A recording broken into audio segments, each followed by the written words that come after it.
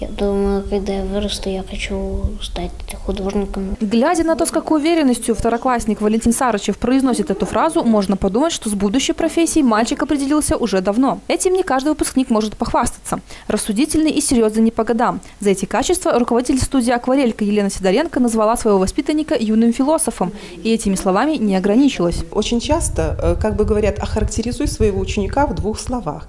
Я вчера сидела и думала, думаю, ну вот как два слова ему найти, которые непосредственно подошли бы к нему. Я бы сказала так, что тихий лидер – Действительно, Валентина можно назвать очень скромным мальчиком. Он молчалив и серьезен, а когда берет в руки кисть, кажется, будто все его существо поглощено одним – искусством.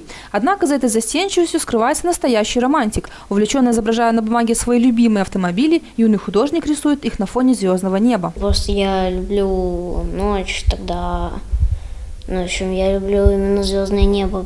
И машины едут, и звездное небо. Итальянский диплом из Палермо – не первая награда мальчика. Два года назад Валентин получил диплом второй степени на конкурсе детского рисунка «Архновация», а в прошлом году стал обладателем гран-при второго международного конкурса «Нас роднит Бук». Такие победы, безусловно, стимулируют, и в будущем юный художник обязательно будет брать новую высоту. Не ради поощрительного диплома, а ради постижения других граней в искусстве. У нас товарищ творческий.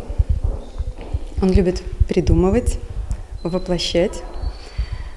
Э, любит, чтобы этот процесс был не короткий, он его даже растягивает, то есть он начинает работу, потом к ней возвращается. То есть он испытывает удовольствие от подбора красок, кистей, выбора бумаги. Если это касается рисунка, если это касается конструирования, то это, соответственно, э, с этой стороны. По словам классного руководителя Татьяны Калиды, в ее классе собрались настоящие таланты. Кто-то танцует или рисует, кто-то очень артистичен или просто прилежен. За эти качества педагог называет своих детей звездочками. Вы знаете, я считаю, что мне очень повезло. В моем классе очень много много талантливых детей, много звездочек. А вот Валентин среди этих звездочек выделяется. Потому что, кроме того, что этот ребенок общительный, внимательный, он еще и красиво рисует. В классе он очень хорошо успевает по математике, у него удаются и любимые предметы «Человек и мир». То есть ребенок любит учиться.